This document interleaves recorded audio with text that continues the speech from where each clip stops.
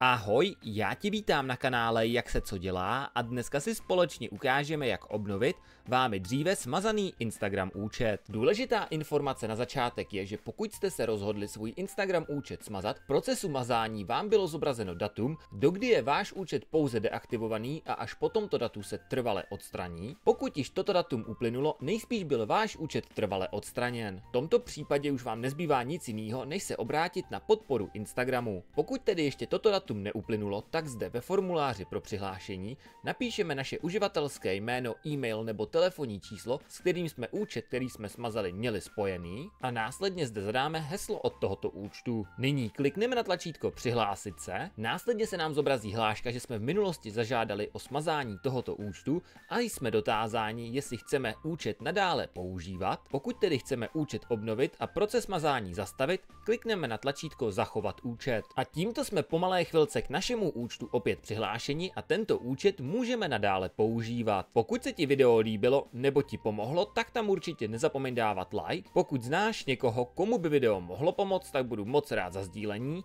a já se na tebe opět budu těšit na kanále Jak se co dělá.